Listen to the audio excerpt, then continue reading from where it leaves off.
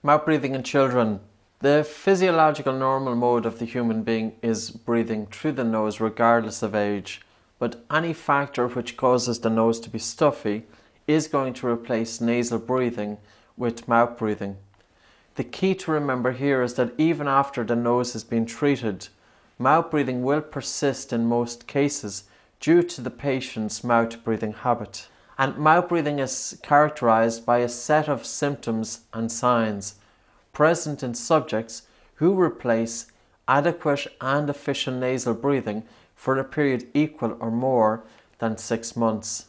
To identify the prevalence of mouth breathing in children aged between 6 and 9 years of age in Portugal, researchers found from 496 answered questionnaires that 56.8% of these children breathed through their mouth. In another paper, in a town with a population of 23,000 inhabitants, 370 children were randomly selected.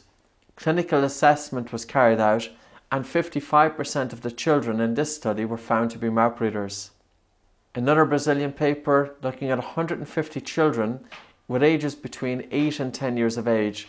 They did two tests. One test was to breathe steam against a mirror, in other words, a fogging test and the second test was to see could the child maintain water in the mouth for up to three minutes. They found that mouth breathing prevalence here was 53.3%. Another paper, a Japanese study with very young children aged between 2 and 6 years, questionnaire to parents, they had 468 valid responses. Mouth breather in daytime if they had two or more positive items. Breathing with the mouth ordinarily, Mouth is open ordinarily. Mouth is open when chewing. Mouth open when chewing is an interesting question to ask parents because many parents will be aware of it that you know they may not necessarily be aware that their child is a mouth breather but they might be a little bit more aware in that the child could be mouth breathing during chewing so while having food at a table the child is eating dinner with the child with a stuffy nose isn't going to be able to maintain eating with their mouth closed. So they will be eating noisily and breathing at the same time. And of course, parents can get upset with this, so they're likely to notice it in their child. Mouth breathing during sleep, if they had two or more of the positive items, if they were snoring, if the mouth was open during sleep, or if the mouth is dry when the child wakes up. Now, snoring doesn't necessarily indicate mouth breathing, even though the researchers used it here you could have the child is snoring through their nose. But a good point to ask is is the child, do they have a dry mouth when they wake up in the morning? Or ask the parents, do you smell the breath of the child? Does the, does the child have a strong smell of their breath when they wake up? The prevalence of mouth breathing during the day, according to this Japanese study, was 35.5%, and during sleep it was 45.9%. Interestingly, there was a significant association between mouth breathing disorder and atopic dermatitis. Working with adults and children since 2002, we have noticed that some children and adults that their skin conditions actually improved quite dramatically when they switched from mouth to nasal breathing. Acne rosacea, for example. We've had a number of cases um, whereby the typical treatment for these patients was using antibiotics but when we changed our breathing pattern disorders, their skin condition improved. This could be due to the fight or flight response associated with mouth breathing.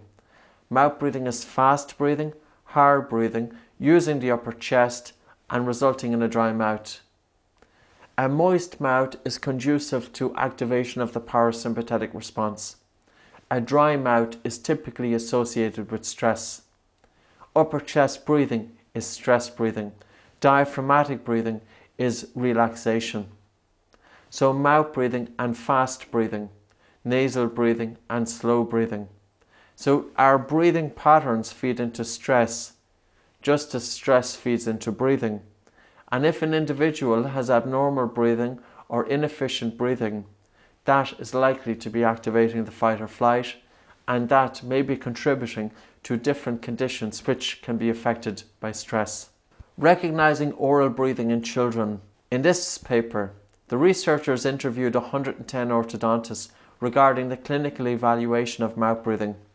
They found that there was no standardization for the clinical recognition of mouth breathing amongst orthodontists. The most common procedures performed were inefficient to recognize differences between mouth breathing by habit or mouth breathing by obstruction.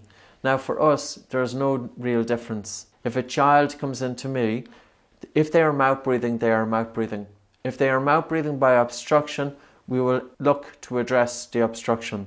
If it's rhinitis, we can improve it very, very quickly by practicing the breathing techniques. If it is adenoids, we will refer to a dentist, a functional dentist or orthodontist who can help develop the airways. If the mouth breathing is by habit, we will also work by that. So we don't necessarily differentiate between the two. Mouth breathing is mouth breathing, regardless, is it habit or is it obstruction? But here's the guidelines that the researchers developed and they tested it in 687 children aged between 6 and 12 years of age. Firstly, the dentist performs a visual assessment of the child. With the patient standing, do they have a lack of lip seal? In other words, is their mouth open? Are there postural changes? Because mouth breathing children, we do develop forward head posture as a compensatory mechanism of having the mouth open. Dark circles under the eyes can be related to venous pooling, which in turn can be related to hard mouth breathing, which causes a loss of carbon dioxide. This results in arterial blood vessels to constrict, but venous blood vessels to expand.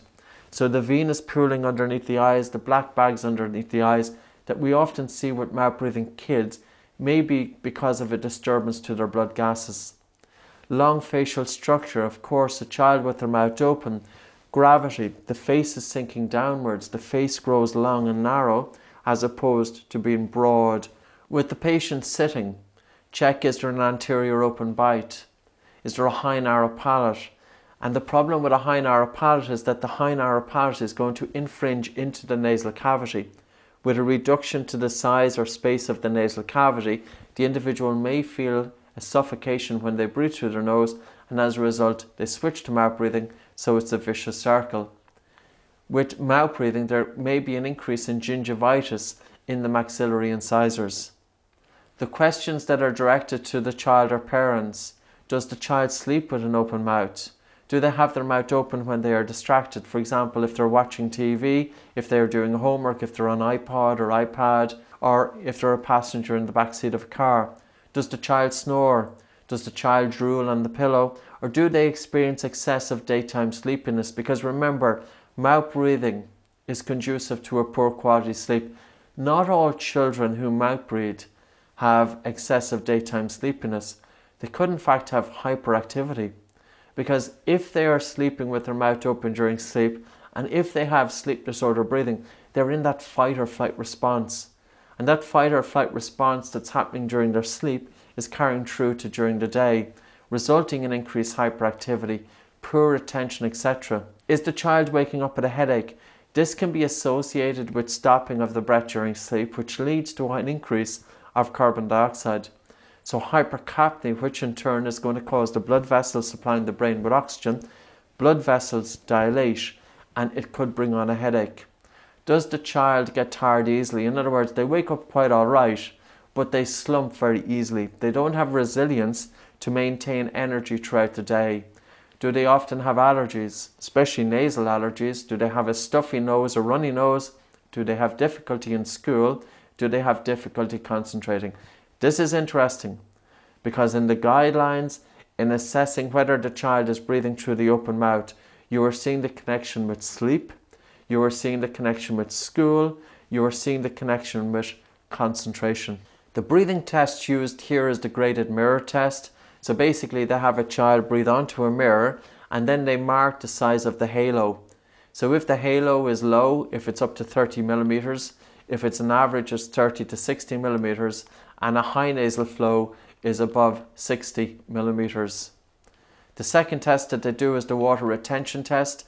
So they ask the child to place 15 milliliters of water in their mouth to see can they hold on to it for about three minutes or so. Now, personally, I think this is going to be something with age. I can't imagine very young children being able to do it. You know, you give them 15 milliliters of water, they'll swallow it, they'll spit it out. But certainly the older kids may be able to master this. My preference in the, the test is the third one. and that's to seal the patient's mouth completely with tape for three minutes. Because a child with an obstructed airway will repeatedly take off the tape. Now, if it's the front of the nose rhinitis that's the problem, it's not a problem because we can help address that very easy by doing breath hold exercises and also by establishing nasal breathing. The adenoids are a slightly different matter. Here we do need a multidisciplinary approach. Functional dentistry, expand the airways, make room in the airways so that the child can establish nasal breathing. With the child establishing nasal breathing, the child is able to harness the benefits of nasal nitric oxide. And of course, the nose conditions the air, moistens and warms, filters the air, so that you've got a filtered and conditioned air meeting the adenoids. The adenoids then are more likely to shrink. The training to eliminate the habit of mouth breathing is the lip seal tape, and I think this is absolutely wonderful. I incorporated this into my practice teaching young children because sometimes it was a little bit frustrating. We'd go through all of the exercises with the child, we would be able to open up their nose, and we were able to establish nasal breathing, but a week later the child would come back in with the mouth wide open. And this would be happening not with every kid, but certainly some children, it took a lot of work in order to establish that habit. We have to consider neuroplasticity here. How can we change the neural pathways in the brain that the brain is associating nasal breathing with breathing? Generally, this will take 60 to 70 days. The game changer for me was after reading this paper. We then introduced mouth taping to the children during the day.